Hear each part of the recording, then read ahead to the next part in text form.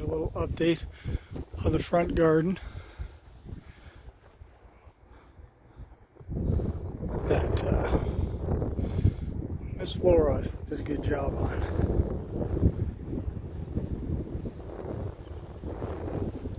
And take it back where we updated a few things.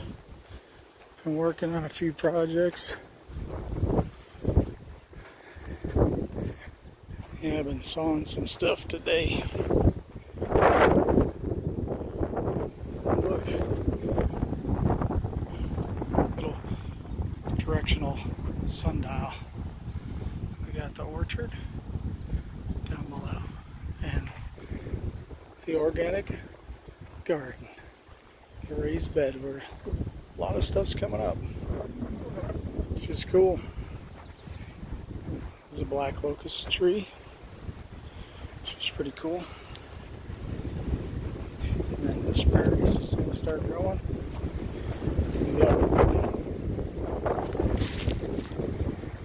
The orchard,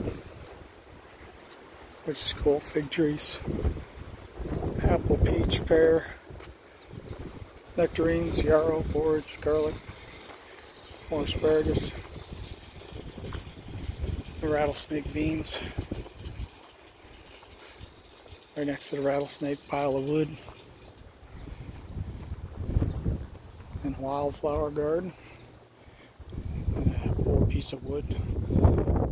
Tree stump.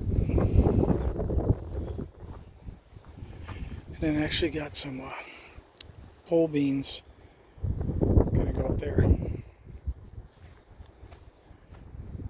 the flower garden. And then our little wood project down here.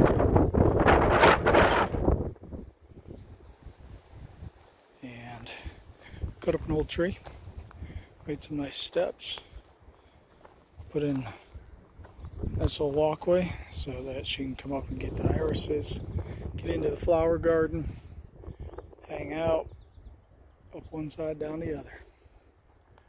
Pretty cool stuff. Still working on the walkway through here.